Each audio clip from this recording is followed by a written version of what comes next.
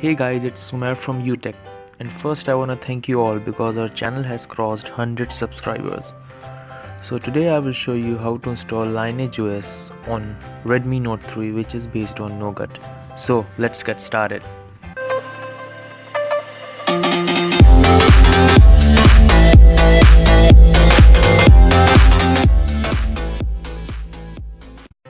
Okay, so first download the files which are in the description below and put them in storage of your phone.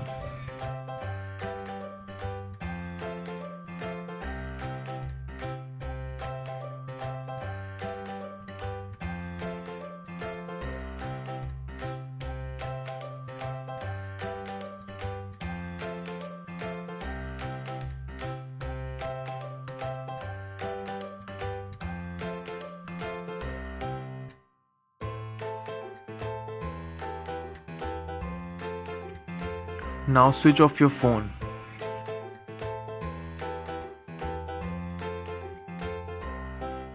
After switching off your phone, we have to go to recovery mode.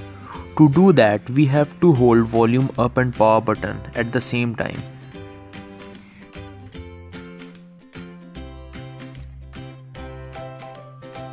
Once MI logo appears, release power button and keep holding volume up button.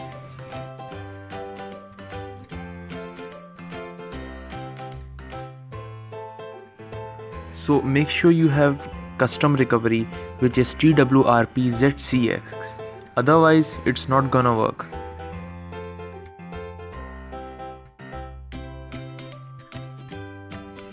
Okay so now go to wipe and swipe to factory reset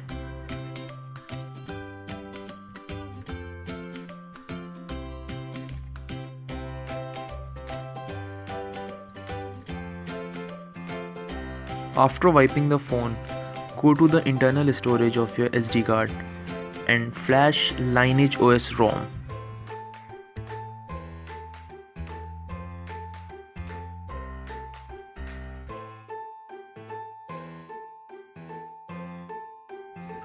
Okay, so our ROM flashing has completed. So now flash Google Apps.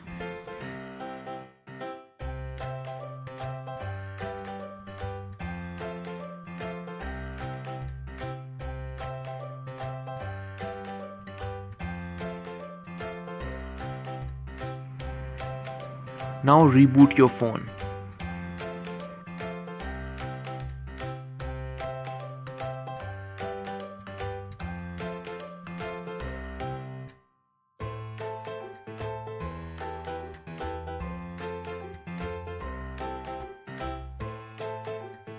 As you can see our new Lineage OS logo has appeared.